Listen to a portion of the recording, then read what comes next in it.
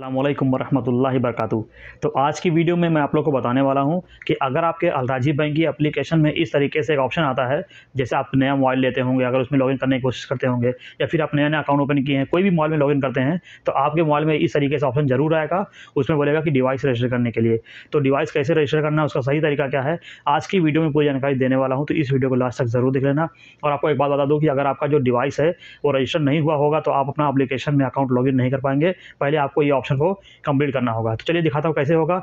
इस वीडियो को लास्ट तक ज़रूर देख लेना। वीडियो शुरू करने से पहले एक छोटी सी रिक्वेस्ट है कि अगर आप हमारे चैनल पर नए हैं तो प्लीज़ चैनल को सब्सक्राइब कर लीजिए बेलाइकन भी दबा लीजिए, ताकि आने वाला मेरा हर वीडियो का नोटिफिकेशन आप तक पहुँचता सबसे पहले। तो चलिए वीडियो शुरू करते हैं। तो सबसे पहले आपको अपना अलराजी बैंक का जो एप्लीकेशन है, उससे ओपन करना है। तो हमारा जो अलराजी बैंक का एप्लीकेशन है, यहाँ पर ओपन हो चुका है। अब यहाँ पर ऊपर जो है यूज़र नेम डालना है, नीचे पासवर्ड डालना है। जो अपना अलराजी का अकाउंट बनाते समय अपना यूज़र नेम और पासवर्ड जो बनाए थे, वही यूज़र नेम और पासवर्ड को आपको यहाँ पर इंटर कर देना है। ऊपर यूज़र नेम और नीचे पासवर्ड यूज़र नेम और पासवर्ड दोनों डालने के बाद फिर आपको यहाँ पर नीचे एक बटन दिखेगा लॉगिन का। तो आपको यहाँ पर लॉगिन पर क्लिक कर देना है। तो मेरा यूज़र नेम हो चुका है। अब यहाँ पर मैं पासवर्ड पर क्लिक किया हूँ और यहाँ पर मैं पासवर्ड भी इंटर कर देता हूँ। जैसे ही हम पासवर्ड पूरा इंटर करेंगे, उसके बाद यहाँ पे लॉगिन का बटन दिखेगा। और यहाँ पे हम लॉगिन पे क्लिक करते हैं। लॉगिन पे जैसे हम टच करेंगे, उसके बाद फिर हमारे सामने हम आपको दिखाता हूँ किस तरीके से आता है। आप थोड़ा वेट कीजिए, अभी यहाँ पर ये मैं ओपन कर रहा हूँ, पहली बार तो थोड़ा टाइम लगता है और आप सेकंड टाइम ओपन करेंगे तो आपको फटाफट से ओपन हो जाएगा। तो अब यहाँ पर मैं ओपन पे क्लिक कर दिया, अब यहाँ पे सर्च ले रहा है। जब ये सर्च पूरा हो जाएगा तो कौन सा ऑप्शन आएगा आपके सामने आ जाएगा दिखाता हूँ। तो आपको भी इसे वेट करना है तो देख सकते हैं, अब यहाँ पर ओपन हो रहा है। देख सकते हैं, इस तरीके से यहाँ पे आ चुका है अनरजिस्टर्ड डिवाइस दिखा रहा है। तो आपको यहाँ पर क्लिक कर देना है ग्रीन बटन के ऊपर, फिर आपको यहाँ पर देगा रिसीव कॉल इस पर क्लिक कर देना है। जब आप इस पर क्लिक कर देंगे, फिर आपको यहाँ पर थोड़ा सा वेट करना है। थोड़ा सा वेट करने के बाद में आपके पास में कस्टमर का कॉल आएगा। तो अभी हमारे पास में भी कॉल आएगा तो इस फ़ोन में जो है कस्टमर केयर रिकॉर्डिंग नहीं हो पाता है। मैं कई बार देख चुका हूँ। तो मैं आपको बता दूँगा कि वो क्या कहता है। तो आपके पास में इस ओटीपी कोड आएगा, जैसे यहाँ पर ये कोड आ चुका है, इस कोड को यहाँ पे कॉपी कर लेना है या फिर याद रख लेना है या फिर कहीं पे लिख लेना है। फिर आपको यहाँ पर इस कोड का काम लगने वाला है जब आपके पास में कस्टमर की तरफ़ से कॉल आएगा, वो डिवाइस रजिस्टर करने के लिए तो उस समय बोलेगा कि जो ओटीपी कोड आया आपके पास में, उस ओटीपी कोड को यहाँ पर एंटर कीजिए।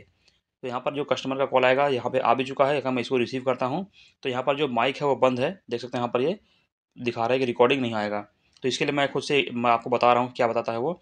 जब कस्टमर का कॉल आएगा तो आपसे बोलेगा कि आपको इतना नंबर दबाना है, आपका डिवाइस जो है रजिस्टर करने के लिए। तो जो नंबर बोलेगा आपको वही नंबर आपको यहाँ पे दबा देना है।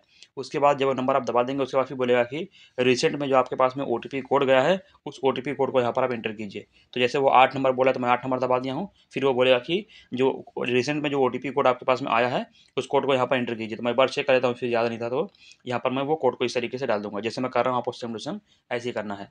जब आप ये कर देंगे, उसके बाद फिर वो आपसे बताएगा कि आपका जो डिवाइस है वो सर्टिफाइड हो गया है, यानी वो सर्टिफाइड कर दिया है, आपका डिवाइस वो रजिस्टर हो गया है। तो आपका जो कॉल है वो ऑटोमेटिक से कट जाएगा, जैसे हमारे यहाँ पर कट चुका है। उसके बाद फिर आपको यहाँ पर बैक करके सीधा अपना अलराजी बैंक एप्लीकेशन में चले जाना है। यहाँ पर क्लिक करना है गो टू डैशबोर्ड के ऊपर, हरी वाली बटन के ऊपर। फिर आपको यहाँ पर सेव पे क्लिक कर देना तो आपका जो पासवर्ड है वो सेव हो जाएगा। उसके बाद फिर आपको यहाँ पर ऊपर क्लिक कर देना है साइनअप के ऊपर। यहाँ पर आपको दिखेगा यूज़र नेम और पासवर्ड डालने वाला ऑप्शन आ जाएगा। दोबारा से आपको यहाँ पर अपना यूज़र नेम और पासवर्ड यहाँ पे आपको डाल करके लॉगिन पे क्लिक कर देना है। तो हमारा यूज़र नेम और पासवर्ड यहाँ पे हम डाल चुके हैं, बस हम यहाँ पे क्लिक करते हैं लॉगिन के ऊपर। लॉगिन पे क्लिक करेंगे, थोड़ा सा यहाँ पे आपको वेट करना है, जब तक ये आगे का प्रोसेस ना आ जाए। मैं आपको दिखाता हूँ आगे क्या करना होगा। तो अभी मैं यहाँ पर क्लिक कर दिया थोड़ा यहाँ पर सर्च हो रहा है, इस तरीके से देख सकते हैं सर्चिंग हो रहा है। थोड़ा सा हम यहाँ पर इंतज़ार कर लेते हैं, जब तक ये लॉगिन ना हो जाए। और उसका फिर आपको दिखाते हैं क्या करना होगा। अगर और भी कोई ऑप्शन होगा, कुछ भी करना होगा तो मैं आपको दिखाता हूँ आगे। तो अभी देख सकते हैं यहाँ पर कुछ नहीं आ रहा, वहाँ पर सीधा ओ कोड मांग रहा है। तो जिस नंबर से हम अपना अलराजी का अकाउंट बनाए हैं, उस पर एक कोड आएगा। जैसे यहाँ पे कोड भी आ चुका है, इसको यहाँ पर आप कॉपी करके पेस्ट कर सकते हैं। अगर कॉपी पेस्ट कॉपी पेस्ट नहीं हो रहा है तो यहाँ पर वो कोड आपको देखना है और यहाँ पर आपको जाकर के डाल देना है। दो आप आपको काम दो या तो कॉपी पेस्ट कर सकते हैं, अगर नहीं हो रहा है तो नंबर आपको देख करके यहाँ पर आपको डाल देना है इस तरीके से। जब यहाँ पर आप नंबर इसका इंटर कर देंगे पूरा, फिर आपको दिखाता हूँ, इसके बाद फिर क्या होता है लॉगिन होता है कि नहीं होता है। तो अगर ये आपका जो सर्टिफाइड हो जाएगा तो आपका जो है राज़ी का अप्लीकेशन वो सक्सेसफुल लॉगिन हो जाएगा। आप चाहे पैसा ट्रांसफ़र कर सकते हैं मोबाइल रिचार्ज कर सकते हैं, हर काम कर सकते हैं। बिना रजिस्टर के आपका जो है अप्लीकेशन लॉगिन ही नहीं होगा। तो अभी देख सकते हैं यहाँ पर ये, अभी यहाँ पर रुका हुआ थोड़ा सा देखते हैं आगे क्या होता है। अभी यहाँ पर लॉगिन होना शुरू हो गया है, देख सकते हैं। अभी यहाँ पर थोड़ा सा दिख रहा है अभी हल्का हल्का। अभी क्योंकि अभी ये पूरी तरह से ओपन नहीं हुआ तो इस तरीके से देख सकते हैं यहाँ पर ये लॉगिन हो चुका है हमारा एप्लीकेशन वीडियो पसंद आता